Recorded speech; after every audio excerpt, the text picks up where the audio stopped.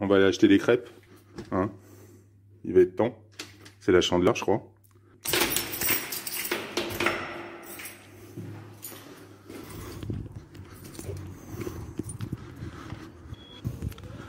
Je sais. Euh, manger des crêpes, hein, ce soir, faites plaisir à vos gosses que le violon. On va aller acheter des crêpes.